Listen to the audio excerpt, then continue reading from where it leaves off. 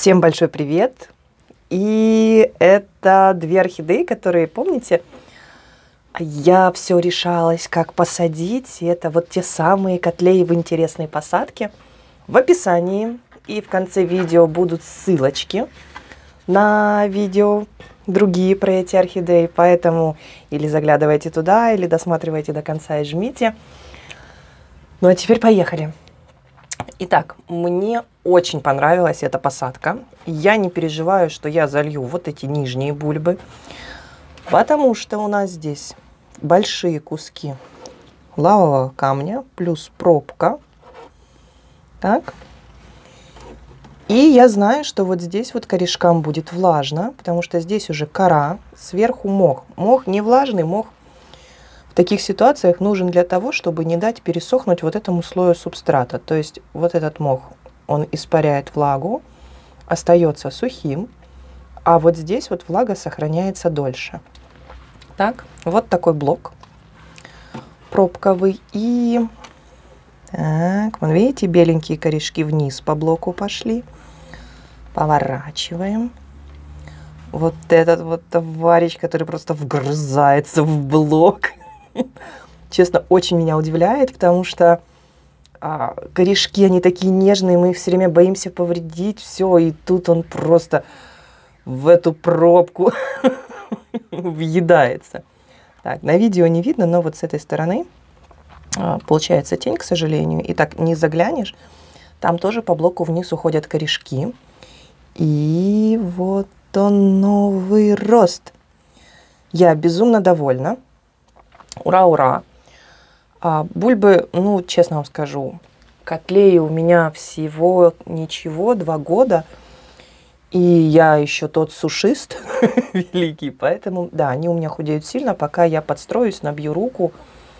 Вот. Но, опять-таки, адаптация для меня вот это вот, это, ну, в принципе, нормальное состояние поначалу, потом все приходит в норму. А, ну, а что делать? Не могу и не люблю я часто и много поливать. Переживаю, я боюсь загноить, поэтому сушу. Все, что могу, сушу. Ну вот он, новый рост. И, кстати, давайте сейчас вторую порассматриваем, а потом я договорю уже то, что хочу. Так, посадка точно такая же. И корешочки, вон они. И к блоку пошли, и вниз пошли, их много. И так, не хочется. А, не хочется и не получается. В общем, тут кусочек коры я накрыла, там очень много корешков. Они пошли вниз. Вот если вы видите рядом с моим пальцем парочку всего лишь. И, ага, вот получилось. Вон они, видите? Закапываются. И здесь уже вот такой новый рост. Вот такой он классный. Я в диком восторге. И смотрите, у нас сейчас октябрь, причем уже вторая половина октября, и у меня пошли новые росты. И а, такой дополнительный ответ на вопросы видео. Вот почему я э, использую досветку.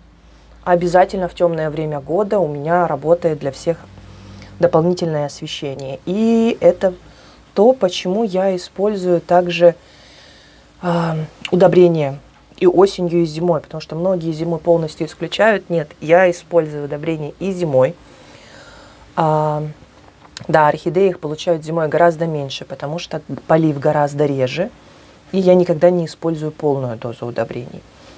Но а, вот эти вот товарищи будут развиваться. Я хочу, чтобы из них выросли хорошие, напитанные, полноценные бульбы.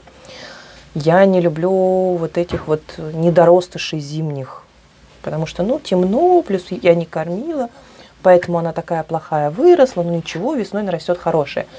Нет, меня это реально не устраивает, я такое не люблю, и э, я считаю так, если орхидея растет, она показывает тебе, вот я расту, я активная, мне нужно помочь, то ей нужно помочь.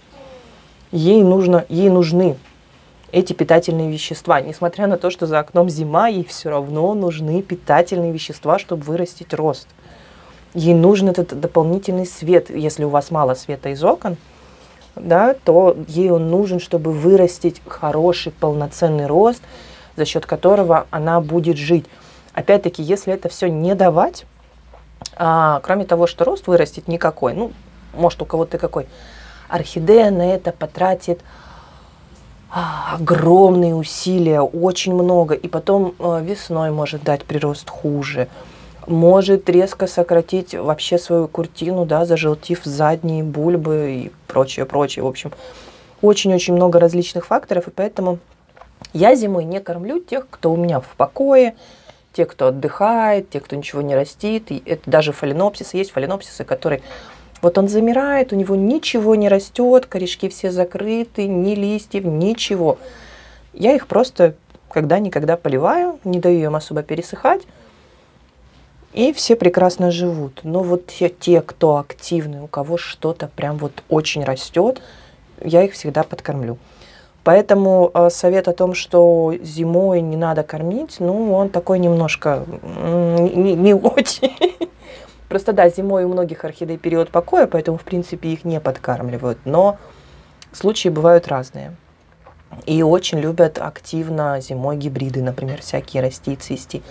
Поэтому я бы не лишала орхидей, которые активничают в такое время подкормок, потому что на самом деле в такое время им как никогда нужны подкормки, потому что не так активно проходит фотосинтез, они не вырабатывают собственные элементы и глюкозу ту же и прочее, прочее внутри себя для того, чтобы им было из чего расти, и мы должны им помогать. Ну что ж, на этом буду заканчивать. Всем большое спасибо за просмотр. А, уже в начале видео рассказала, что вы переходите в описание, и в конце видео тоже будут вылазить всякие подсказки на видео. Поэтому не стесняемся, жмем, ставим лайки, подписываемся на канал, чтобы не пропустить новое видео, жмем на колокольчик. И всем еще раз огромное спасибо. Солнечных дней, пышных цветений. Пока-пока.